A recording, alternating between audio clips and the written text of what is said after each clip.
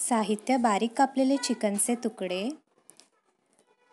अर्धा लिंबू एक चमचा आले लसूण पेस्ट एक चमचा लाल मिर्च पावडर अर्धा चमचा हळद एक अंड व एक टेबलस्पून कॉर्नफ्लॉर हे व्यवस्थित मिक्स करून घ्या. त्यामध्ये मीठ देखील ॲड करायचं आहे. हे सगळं मिश्रण झाल्यावर त्यामध्ये एग टाका. अंड टाकल्यावरती हे मिश्रण व्यवस्थित त्याचा एक घोळ तयार करून घ्यावा. ह्या प्रकारे. हे घोळ तयार झाल्यानंतर त्यामध्ये तयार चिकनचे तुकडे ॲड करा. चिकनचे तुकडे व्यवस्थित त्या मिश्रणामध्ये मिक्स करा. मिक्स केल्यानंतर आपलं मॅरिनेशन रेडी आहे.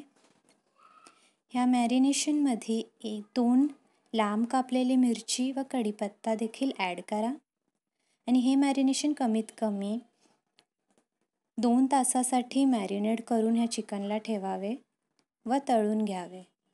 जितकं जास्त मॅरिनेशन तितकी चांगली चव. थँक्यू